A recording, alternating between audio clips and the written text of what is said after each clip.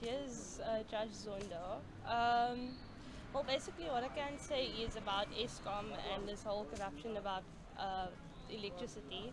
It does affect us in a bad way where we have power cuts and um, babies that needs to be fed at night, uh, no electricity, um, unable to feed our children at the end of the day.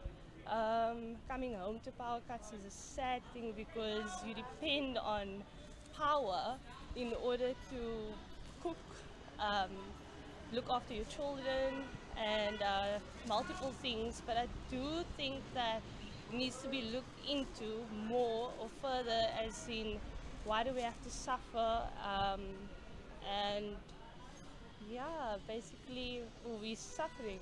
And um, there needs to be a solution